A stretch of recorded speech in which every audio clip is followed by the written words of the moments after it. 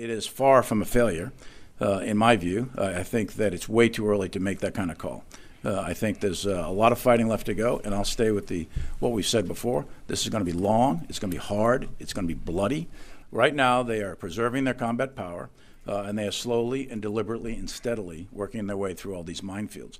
Uh, and and it's a tough fight. It's a very difficult fight. This is not over. We continue to generate combat power, training three, training and equipping three brigades uh, uh, in Germany right now, and there, there's other training uh, ongoing around the around the region. Our work continues, and uh, we're going to do everything we can to make sure that Ukrainians uh, can be successful.